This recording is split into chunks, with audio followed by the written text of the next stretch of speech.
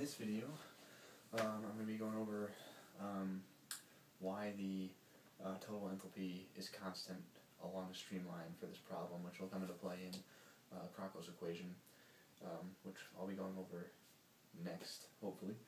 Um, so, we're going to be looking at the energy equation in general. So, there are lots of different forms of the energy equation, uh, depending on what kind of energy you cast the equation in terms of. So, uh, for example, we have uh, the equation in terms of total energy, uh, internal energy, enthalpy, total enthalpy. You can change between like internal energy to enthalpy by using the equation uh, H equals E plus P over rho, which is the enthalpy is equal to the internal energy plus the pressure over the density.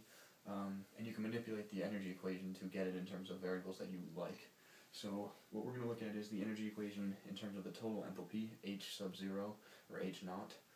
Um, so this is the energy equation right here um, without any um, frictional or viscous effects uh, in the equation right now. So it's uh, rho and then the substantial or total derivative of the enthalpy uh, is equal to the change in pressure with the change uh, with the change in time plus the density times the uh, the rate of, of heat uh, added and then plus the density times the body force term. So if you look back at the assumptions video that we made for the Taylor-Maccoll problem, uh, we noted that uh, we're dealing with steady flow, um, which means that steady flow, the time derivative here goes to zero. Uh, if we're dealing with adiabatic, that means the heat term goes to zero, and then no body forces, this term goes to zero, and the inviscid assumption is already taken into account because there's no viscous forces in here um, in this particular energy equation. Um, so this ends up leading to this left-hand side. So we're canceling terms on the right-hand side. So let's leave this with the left-hand side. Rho dh naught dt is equal to 0.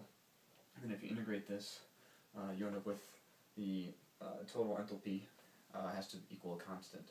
So that means that along a streamline in the flow, the total enthalpy is going to be constant. Um, and in the next video, I'll be going over um, a vector identity proof. Um, and then after that, I'll be going over Crocco's equation, and you'll see where this comes into play there. Thanks for watching.